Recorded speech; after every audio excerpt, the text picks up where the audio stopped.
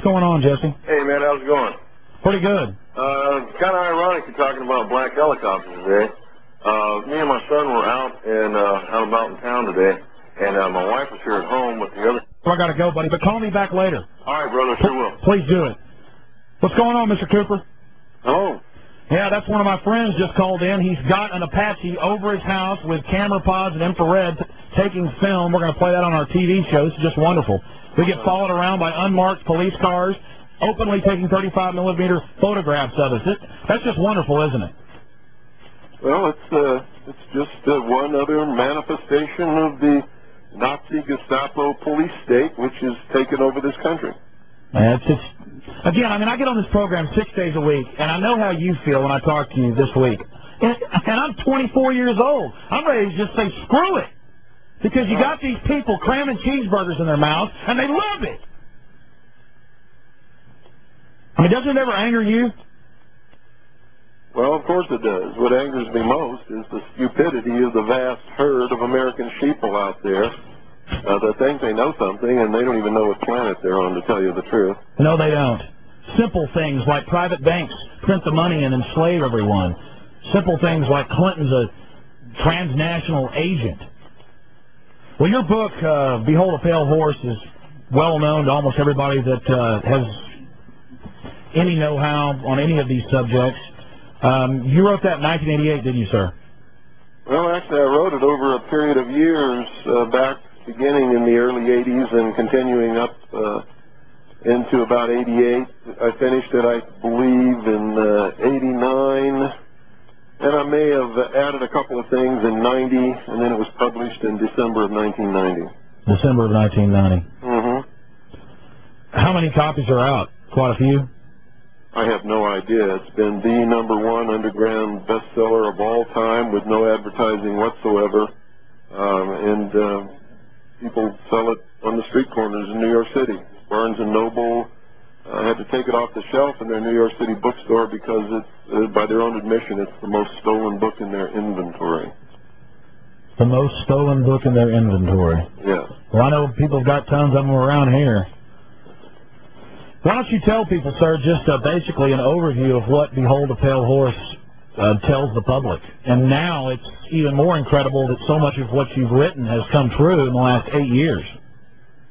Uh, yeah, every prediction that I ever made has come true, except for one, and uh, that was uh, that was only because I had not realized that they had gone as far as they have, and that prediction that I was wrong about was that uh, Manuel Noriega could not be tried in American court and sentenced to an American prison, as he was the head of a sovereign nation and thus had diplomatic immunity, just like anyone he would send to our country to represent his country. And um, uh, of course, that certainly proves that no one in the world is safe now from the encroaching New World Order. And uh, they can go after anybody they want to, including the President of the United States if they want to. And uh, Americans don't understand that. They think uh, we can go after somebody uh, that's the head of a foreign country, but we're still safe. We're, we're not safe. Nobody's safe anymore.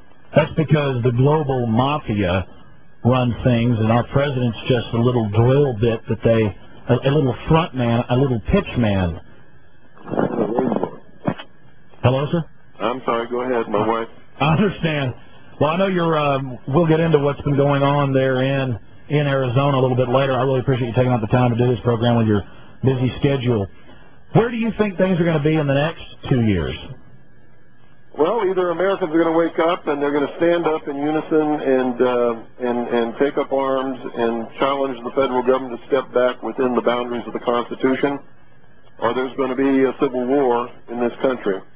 Uh, the only alternative to that is total enslavement of the entire human race on a global scale, uh, because that's where this is going. This is all about a one-world totalitarian socialist government. It's about destroying all existing nation states, uh, destroying all existing religions, save the religion of, of those who are bringing this about, which is the secular humanist socialist religion. That way you can devalue human life and kill people. Well, but they're already doing that. Yes, they are. And they've already convinced the American people that it's okay. The people whose ancestors came to the New World to escape religious persecution in the Old World stood and watched the Branch Davidians burn, including all of their children, all of their women, and they cheered and said uh, that it was uh, it was because they were a bunch of religious fanatics. I heard Christians say that. I heard Orthodox Jews say that. I heard uh, Baptists say it. I heard Catholics say it.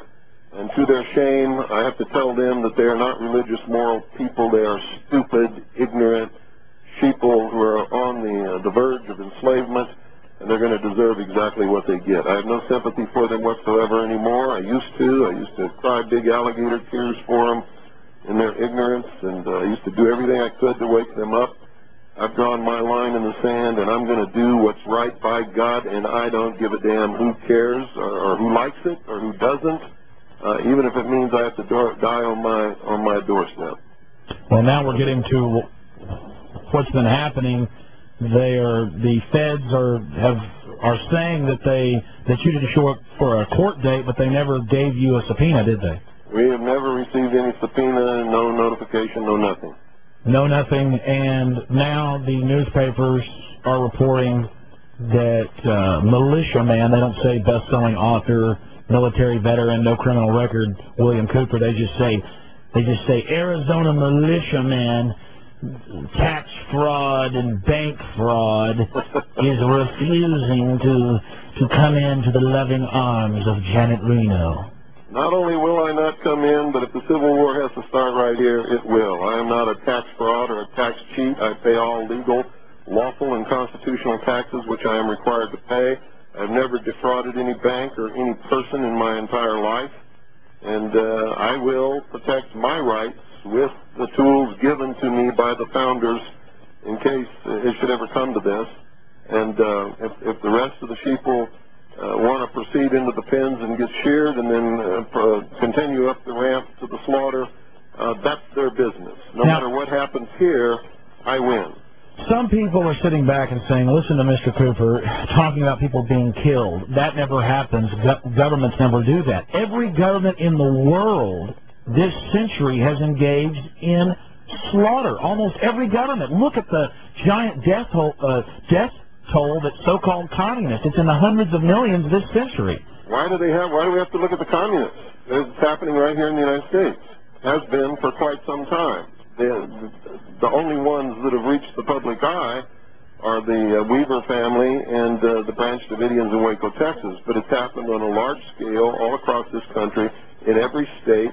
It usually is contained at the local level. And uh, one of the indications that uh, that that you will know that that I'm right is that you haven't seen what's happening here on any of the major news networks, and you're not going to, because I've taken a stance documented in the law. I've posted it on my web page. I have uh, uh, stated that I am a portion of the unorganized militia of, of the state of Arizona and the United States of America for many years, and uh, that my my stance is well grounded. I'm right. I have a right to do what I'm doing, and anybody that comes up here and tries to encroach upon my rights or take away the protection of the Constitution from me and my family is going to get a bullet.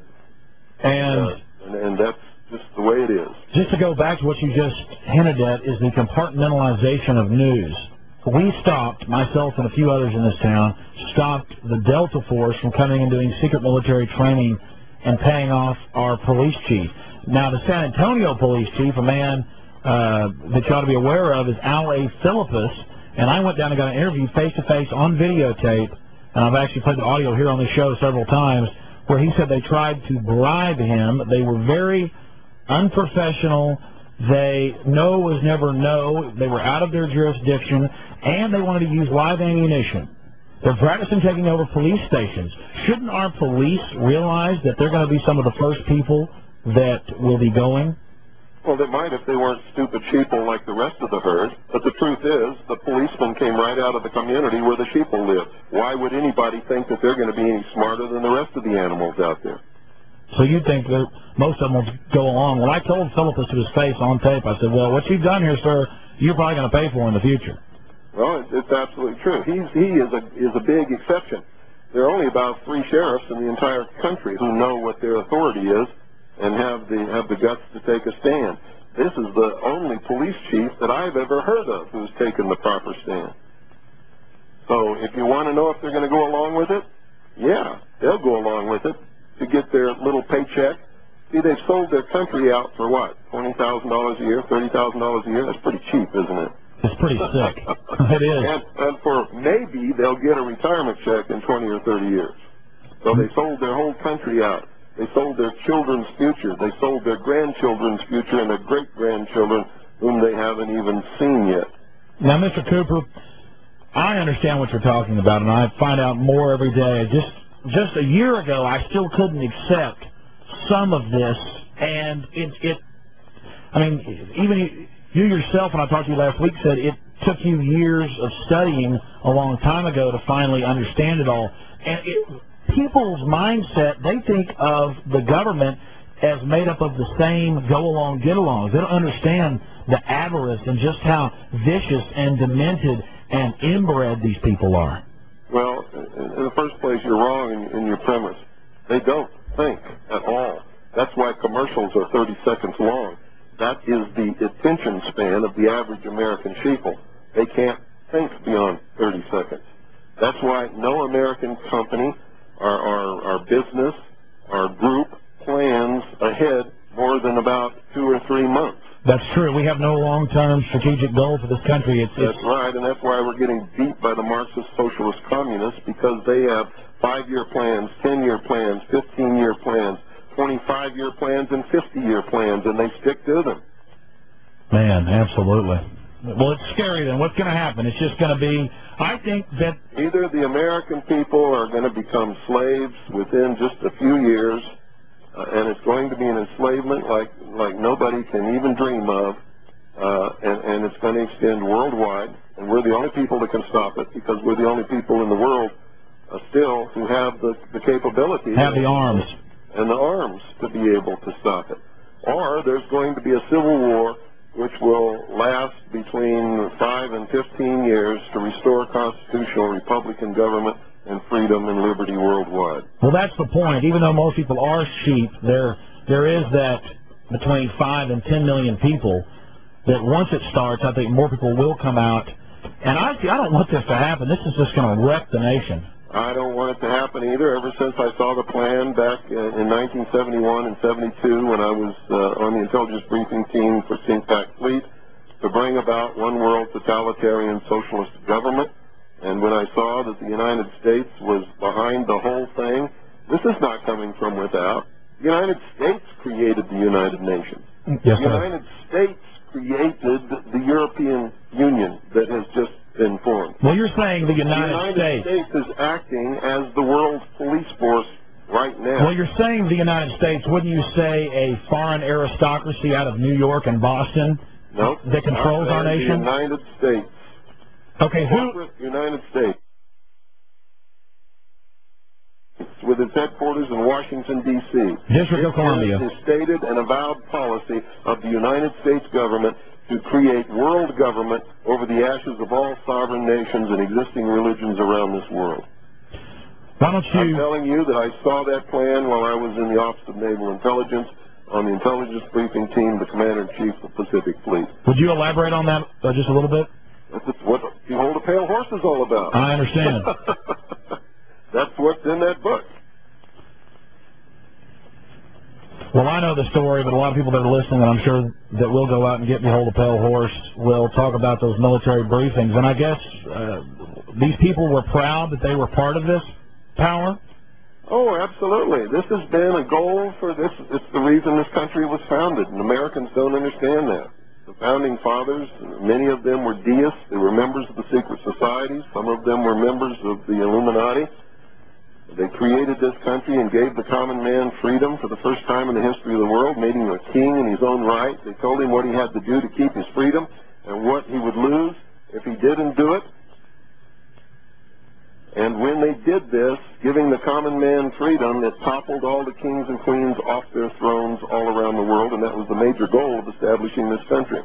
If the common man could have been vigilant and maintained his freedom and not given in to the I want and I want and I deserve and you got to feed me and you got to do this and you got to take care of me and change my diaper and wipe my butt and, and get me a job and entertain me and all that kind of stuff, which always leads back into what they call democracy, which always leads into socialism, which end goal stated by Marx and Lenin is communism. What did you Yeah, first Lenin think? democracy is absolutely indispensable to socialism. What did you first think when you saw saw this openly being discussed in the top levels of the military? Well, it shocked the hell out of me, but they thought I was one of them. It, it was an accident that I got in there. I'd been a member of the Demolay Society when I was 13 years old, only attended three meetings, and then my father was transferred to Japan. I never saw another lodge and never went to another meeting, and that was the end of that. And I filled out all my documentation for my top secret QSI security clearance, which was required to be able to work in the command center and on the briefing team at CPAC Fleet. Um, I didn't see DeMolay on there, so I checked Freemason. And when I checked Freemason, that's what opened all the doors and, and uh, got me the security clearance and put me in those positions to be able to see what I saw. And I think the hand of God was working when that happened so that I would be able to warn his people of what was coming. And I've been doing that ever since. I didn't see absolutely everything, but I saw enough to give me uh, an, edge and a, and a vast head start on anybody that's ever lived before in the public sector that's not normally privy to this information. And I spent uh, the last, well, ever since uh, researching to, to find out what it all meant and where we're going. Well, just to go back to what's happening here locally in Central Texas, we know that there are dozens of different alphabet soup agencies that have the helicopters with the night uh, with the forward infrared with the forward infrared looking radar and all the rest of this. But why why are they gearing up like this? Why are why is our county building a three acre under the roof helicopter base? Uh, just the warehouse is three acres under the roof. Why are our police going and training at Fort Hood with the military? What does this mean to the public? Well, because they know what's coming. They know that there's a hardcore group of American men and women who are who are devout, religious, moral people who love freedom and are dedicated to the concept of liberty and freedom and will fight to protect and defend constitutional Republican government against anything that comes along. And when when that begins, it's it's going to be a, a terrible, terrible thing. I've spent most of my adult life trying to warn people and wake up enough people so that this did not have to happen because I know it's going to be terrible. Now, President Clinton has now openly come out, and I'd actually read pushing three years ago, and I was talking about it, about the national ID card and biometrics, thumb scanning, retina scanning. And since 94 in Texas, they've been thumb scanning us to get driver's license, and people just stampede in there like sheep. We had a big protest down there where I was arrested, I guess it's six or eight months ago now. What does it mean to the public when we have one card that our insurance and our credit cards and our bank accounts and our receipts and everything is on that one card? Means the public is stupid and they're already a hair's breadth away from total enslavement. If they had any brains at all, they would have said, no, I'm not taking that. And if you don't like it, that's tough. And all those businesses and all those driver's license bureaus and all those the, the, the revenue that it brings in for all those cities and counties would have just evaporated in smoke and they would have backed down and said, okay, okay, you, know, you don't have to do it. We'll, we'll do it another way. But they're too stupid to do that. They don't understand that the power in this country is the power of the people and that they don't have to do anything that's outside the bounds of the Constitution. And the government can be held within the bounds, the restraints that the Constitution put upon it, that our founding fathers created so that the American people could never be enslaved. What is the They main... knew that, that Yes. nobody could come and invade this country and enslave the American people. The only way it could be done is from within if the American people allowed it to be done. What is the main goal of biometrics, retina scanning, thumb scanning? In my opinion, it is total loss of control of your destiny. If the IRS doesn't like you now, they'll just come take your house. If the IRS doesn't like you now, they'll just come and garnish your paycheck. But in the future, if they don't like you, they'll shut your card off. Well, let me give you a vision of the future. There will be no money. There won't be any driver's licenses. There won't be any insurance cards or anything like that. Everybody will have an account on a computer. Everybody will have a computer chip implant somewhere on their body that will access the computer. Everybody, when they go to work, will get so many credits for that work, and they can go out and wave their little computer chip in their hand or whatever it is under a scanner at the supermarket and buy whatever they've got credits to buy. If they don't have credits, they got to stay home until they get some credits. Let me stop you for a second. I read this almost every week, at least once, and it's from the uh, from the April 27th, 1997 Time Magazine, The Future of Money. I'm sure you've read it. And it openly on page 51, and anybody out there that thinks Mr. Cooper or I are BSing you, go read it. And it says the best part, now this is their words, the best part about it is your daughter in the near future can have a chip under her skin and you won't have to buy the drinks for at the bar. I mean, everything's insane about that paragraph. And the whole 10-page article is about how great the smart card is and then the chip. And as we know, Time Magazine is a filthy, elitist propaganda rag. So I can't see how anybody would deny this. But I guess most people only see it as a convenience. What's insane about it is that the American people think that that would be convenient or that that would be good for them. It is the ultimate in-run goal to enslave the populace and to steal what's left uh, that's not already stolen uh, by the the uh, the elite who are uh, engineering and, and, and machinizing all of this stuff to to make it come about. Now, the, the goal of a debt-based economy is not to get caught stealing. And that's what they're doing, stealing the wealth and the substance and the nation right out from under us. And that's the only end result that can come out of a debt-based economy. And the only way that they can't get caught is if the people allow them go to go to a cashless system. Then they can never get caught. But if they don't go to a cashless system, eventually the economy will collapse and they're going to get caught. That's exactly it. And In that's fact, why they want to go to a cashless system, and that's why they ultimately have to.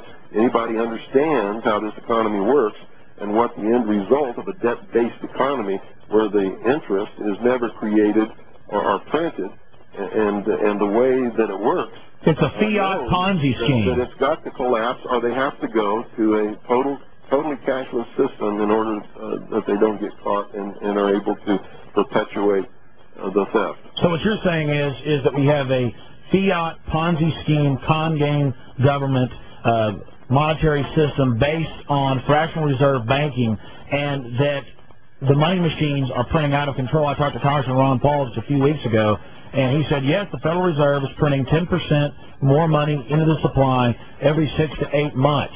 So this is creating this false uh, prosperity, and the public just loves it. But meanwhile, they're just coaxing us in to this cashless society so the fairy tale can continue. That's exactly right. Let's go back. I will appreciate And the only way to keep Yeah. it going until they do that is to keep creating more money, which creates more inflation, uh, which devalues the value of what everybody is earning and making, and that's why everybody feels more and more strain every year and keeps sucking more and more out of the system through the, the, the bogus Internal Revenue Service income tax system so that uh, they can keep from getting caught as long as possible. Oh, but that's been reformed. It got reformed last week. Didn't you hear? Oh boy. Anybody that believes that is, is not playing with a full. In fact, not even playing with a deck of cards. They're playing with uh, matchsticks. Well, I'll never forget. Pre- I mean, President Clinton got up there on TV six, eight months ago, or I guess a year ago now, and drew that big zero on a white piece of paper. And and then I had people coming up to me on the street saying, "Mr. Jones, have you heard the the budget's balanced, the deficit's fixed?" That simple thing. It's like they're three-year-olds. Well, they are three-year-olds. That's their mentality. The average American uh, has never had an original thought in his entire life or her entire life. And if they're not told what to think, they cannot think. And that's the truth. Clinton didn't do anything except eliminate the deficit. You know how you eliminate the deficit? You either don't spend as much so that you stay within the bounds allotted by Congress, or you have Congress pass more allotments so that you can spend more than what you need to spend. Yeah, I mean, I make It is, did not pay off the national debt, did not balance the budget. Well, yes, if I could give myself endless pay raises, I could go out and buy skyscrapers and a thousand Cadillacs and a hundred Mercedes. as and- long as I just still not have a deficit. A deficit is when you spend more than what you've been given. exactly. That's a deficit. So when he says we got a zero deficit, that means absolutely nothing except Congress is allotting more money for the government to spend because the government is not spending less; they're spending more than they ever have had. They are spending more, and they're using this to beef up the police state. It's obvious to anybody that that honestly looks at it. Back to what's happening with you now. I have run documentaries that you've been involved with many times here on television in Austin, and like Reichstag 95 and others. And those are uh, people said that those are the most educational and, and that they do enjoy them. But talk a little bit about how you were at the top of Bill Clinton's FBI list. Well, uh, ever since uh, 1988, when I began telling the uh, the world, not just the American people, but the world, about Majesty 12, which is the plan to enslave the human race in a world totalitarian socialist government, uh, the merger of the um, the military of the United States and what used to be known as the old Soviet Union under NATO, which is occurring now, to create the World Police Force. Most people don't understand that NATO uh, is is an arm of the United Nations. It was formed under Yes. the auspices of the United Nations Charter and takes its orders from the from the Security Council. Warsaw Pact was also formed under the auspices of the United Nations Charter and uh, was an arm of the United Nations and took its orders also from the Security Council. The Cold War was a total farce, and that's why we never had any any uh, military conflicts with the Soviet Union. What is your opinion of the UN passing its new World Court? Well, if they've passed a world court, how can they have a world court if there is sovereign nations? Because sovereign nations are not subject to any courts but their own. So how can they have a world court unless there's a world government to which sovereign nations have given up their sovereignty? Does the Constitution for the United States of America say that we are subject to the dictates or the jurisdiction or the rulings of a world court? Does it say that anywhere in the Constitution? No, it doesn't. And when I watch the Oh, it local news, not. and when I watch the local news, all I hear is how wonderful the United Nations is. Our public are being indoctrinated about this. Sir, I know you, that uh, you didn't ask me about this, but do you have a 1-800 number or a number where people can order Behold a Pale Horse? No, I don't have a one eight hundred number, and even if I did, they couldn't order because I will not contribute to the to the debt-based destruction of our economy and Talking about the credit cards. the property of the American people. So they can't order anything from us by phone. If they want to order something from us, they have to send blank postal money orders or cash. Behold a Pale Horse is thirty dollars delivered to your door, and uh, you can order by sending blank money orders or cash to Harvest Trust in care of, and make sure you put in care of on the address, P.O. Box 2470. That's P.O. Box 2470, Eagar, spelled E-A-G-A-R. That's Eagar, spelled E-A-G-A-R, Arizona 85925. Once again, the zip is 85925. Say it all one more time.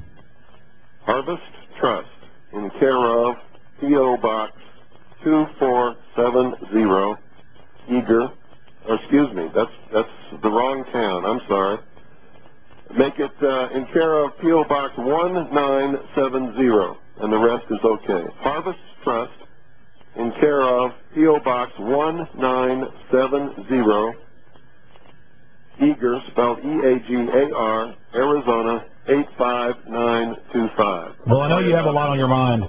Yeah, sorry about the mix-up on the P.O. Box. It's 1970 and not uh, what I gave you. And for thirty dollars, this is a very large book, and uh, the illustration on it is uh, very interesting. It says a mouthful right there on the cover. Just to get back real fast to exactly what's happening with you and your family. You have no criminal record. You were honorably discharged from the military. You're an author, shortwave radio host, and you have a monthly newspaper.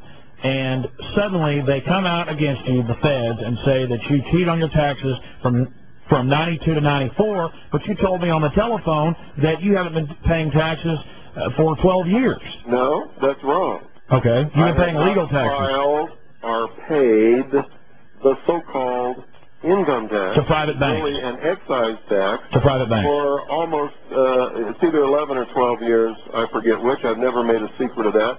I am not uh, liable uh, for the so-called income tax administered by the so-called Internal Revenue Service, and uh, I am not, um, but I do pay all lawful and constitutional taxes, which I am required to pay and always will. Give us an example of a lawful tax.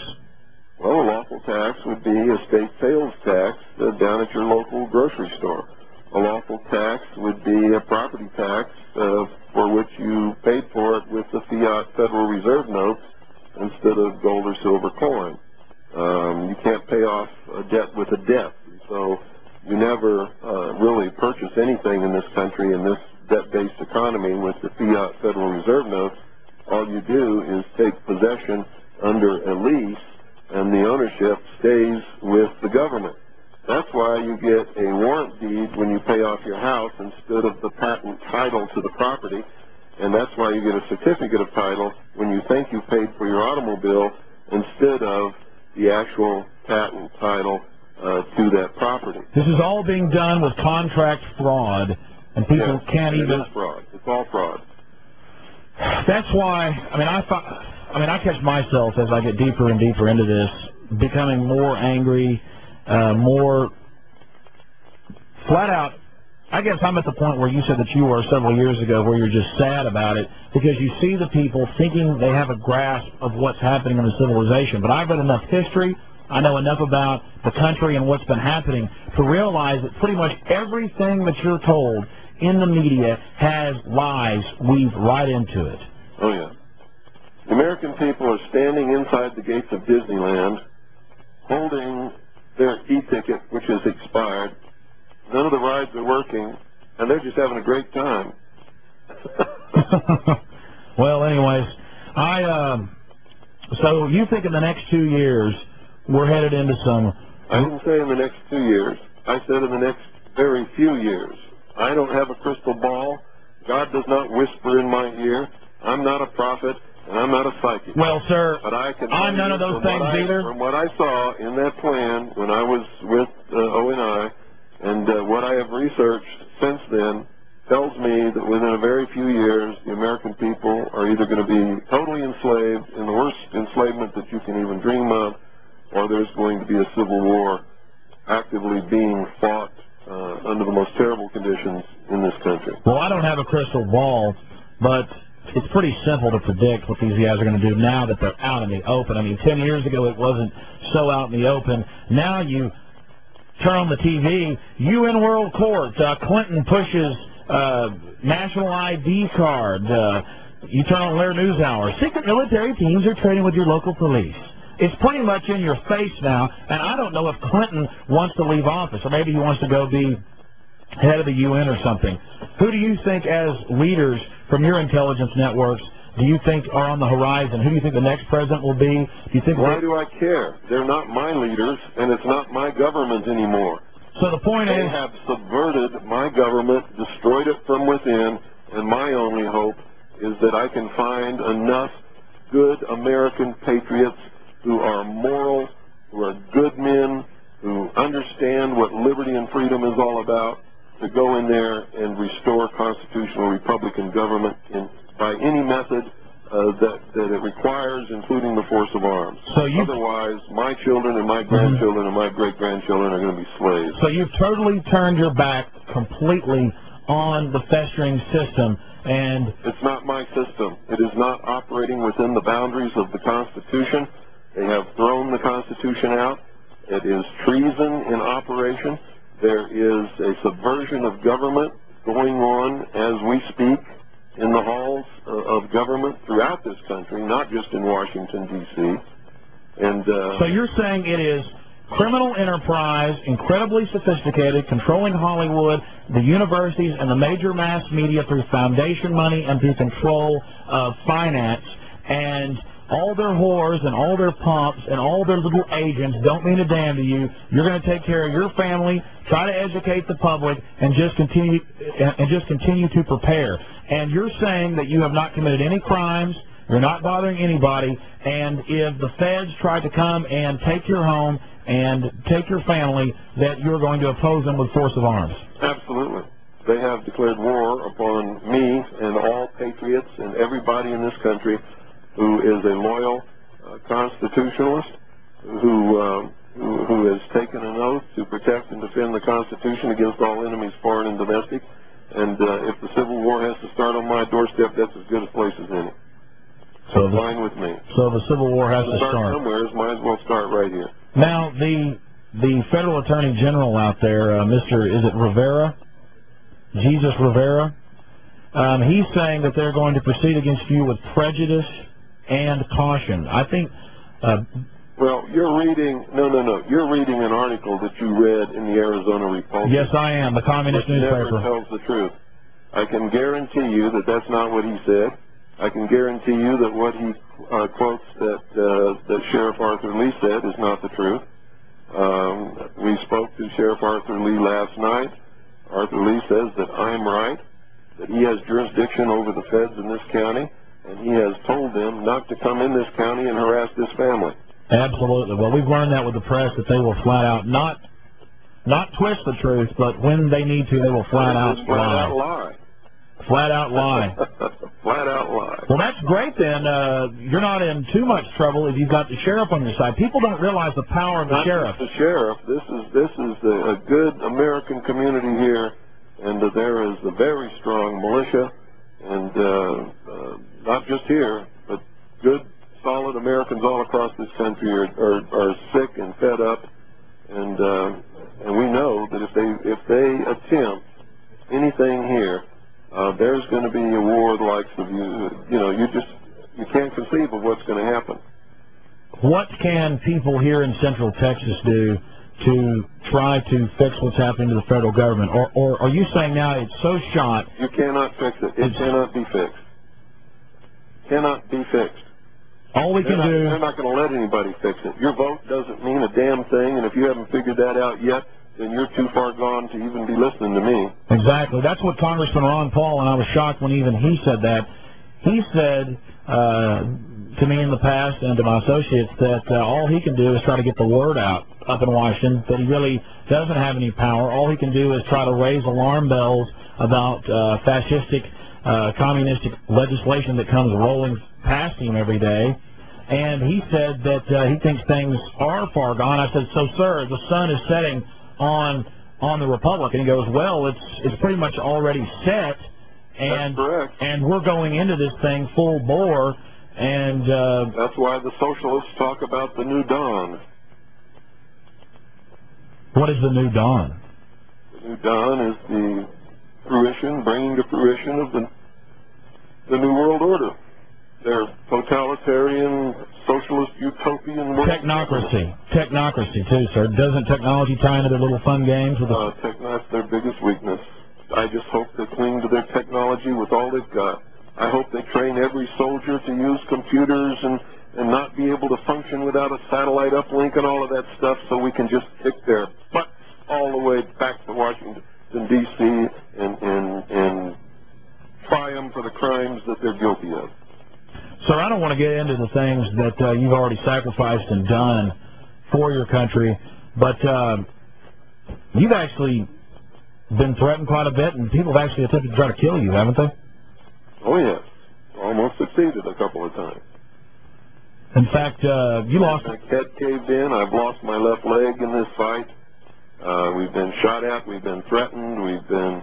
They made it so that we couldn't work for anybody. Uh, but you know, that's exactly what happened to the founding fathers.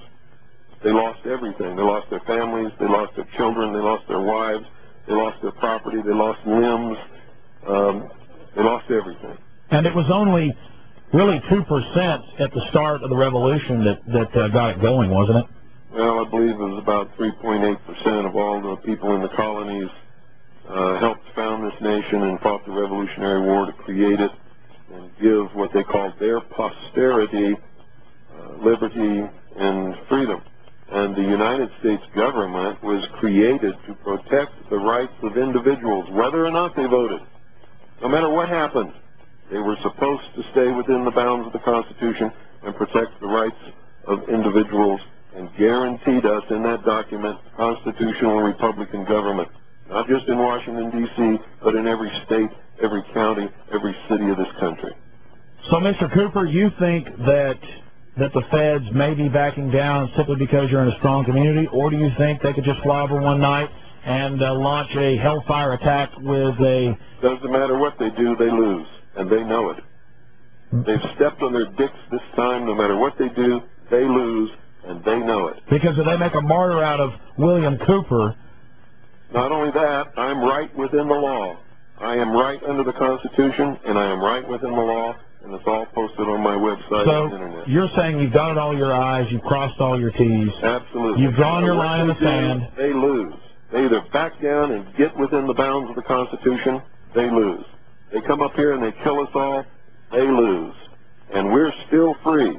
Now, a lot of people aren't going to understand that, but I'll still be free. No, you were mentally free. You didn't you didn't bow down, you didn't play the game, you didn't compromise. You died with your morals and with what you believed, and you were not altered by their propaganda or their intimidation. That's right, and none of us are afraid. We are Christians. We know that if we do the right thing, God is going to smile at us when we get to those pearly gates. However, people view those pearly gates, I don't care. Absolutely. Well, sir, again, I really appreciate you taking out this time to speak to people here in Central Texas. I'd like to give out the website because that's where people can get the documentation in the law and see what's really happening and understand why we're right and not just blowing smoke and, and understand that this is the stance that they're also going to have to take if they want to be free. Yes, sir. Um, People who are not willing to die for freedom can never have it. That's the law of the universe. will you stay with us through a break because I've uh, I'm actually behind two breaks, and if you stay with us, give out the website though because I got to get going too. okay, uh, go ahead and uh, give out your website, sir. It's uh, there's there's no www. It's just harvest dash trust dot org. Harvest Trust Har- no, it's not harvest trust. It's harvest dash. dash trust. All righty. Well, sir, I really Go there. They're going to be absolutely amazed. Well, I've been there several times, and it is a lot of good information people will see. And I, I uh, do respect you, and and I, uh, I certainly hope that the feds do back down, because I know that once a revolution does start in this country, and we've had a couple of them, that it's not going to be a pretty one, and that's it. The whole thing starts, and I know that I'm on the list. And I've heard a lot of people say, you know, I want to be on all the lists at the top of every list. Well, I'll do what I have to do, but tell you the truth, I don't want to be on all their filthy lists.